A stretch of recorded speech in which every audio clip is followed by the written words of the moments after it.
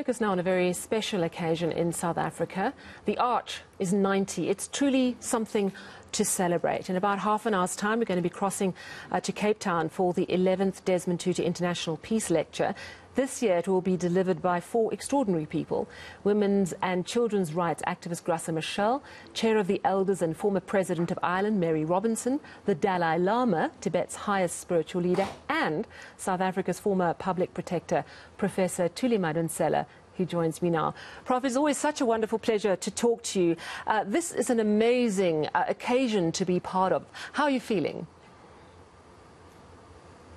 I'm overjoyed to be in this galaxy of stars. And of course, it is always a privilege to celebrate to celebrate Archbishop Desmond Tutu.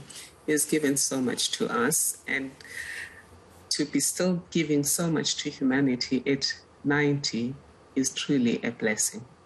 Yeah, it is remarkable, and, and he, you know, still has that absolutely wonderful smile, even though he's in a wheelchair. He still looks uh, very excited to be around people, and uh, such an extraordinary man. Um, talk to me about the tributes that you pay to a man such as Desmond Tutu, who has led a brave and remarkable life. The emphasis of my tribute is recognizing his lifetime quest of speaking truth to power on matters of justice, integrity, forgiveness, and peace. And one of his famous sayings is that there will be no peace without justice. And in, in so doing, he has always motivated us to work towards social justice, to eliminate corruption and make sure that democracies all over the world work for every human being and that everyone is made to know that they count. You know, I think the world remembers him most for uh, his strong voice against apartheid. Um, but of course, he's still speaking out today. Uh, Allan Boesak uh, was speaking to Aisha Ismail, our reporter, earlier, and, and he told her that the Arch is very concerned about what's happening in South Africa and still very worried about the path uh, that we are taking. Um, how has he been a mentor to you? How has he inspired you? Particularly, I'm thinking in your role as public protector. He inspired me and many others to understand that there are consequences to speaking truth to power. But there are also consequences for society if we are silent. And from him, I've understood that evil triumphs not because the evildoers are the most powerful and formidable force in society or in the world, Evil triumphs when those who can stop it do nothing to stop it. And in his case, he used a space created for him by the fact that he was educated, which gives him privilege, and the fact that he was a man of the cloth with a very high ranking, to give voice to these concerns about justice. And you're right that it started with questioning apartheid when democracy came, he understood that democracy did not mean we were now equal. He used his voice to raise issues about inequality, about poverty.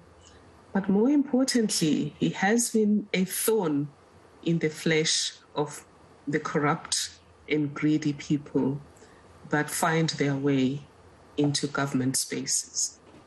Do you think that we as ordinary South Africans are living his legacy. You know, you smiled when you said he was he's a thorn in the flesh of the corrupt, um, and and it's a it's a bravery that he seems to have. It, it doesn't mean it's not difficult to do. Do you think that we need to be a little bit braver, like Archbishop Tutu at times?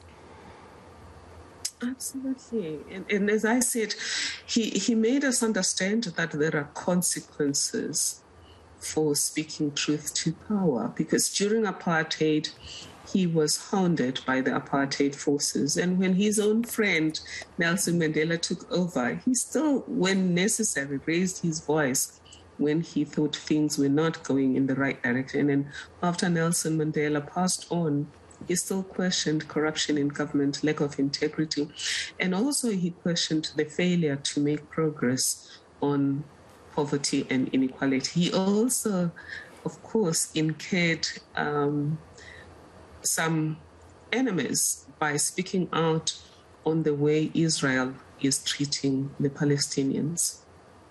Talk to me about uh, the people that you are sharing, and I understand it's a virtual stage with uh, tonight. Uh, have you actually got to meet any of them? Are you all have you all pre-recorded your messages because of COVID times, and it's all being done virtually? Just explain how it works. Some of it has been pre recorded. I have met everyone except the Dalai Lama, and it, it is my sadness. And uh, at, at, two occasions on which I could have met him, this is the third one, and it, it didn't work out. But I've met Mary Robinson, who was the president of the World Justice Forum for many years, and I'm a member, and Mama Graça Machel, we all know her, and we have collaborated on, on several matters. So I do feel like I'm in the galaxy of stars, but it's not surprising. Archbishop Tutu himself became a star not by seeking to become a star, he became a star by putting himself out there on behalf of the people whenever he felt that there was injustice.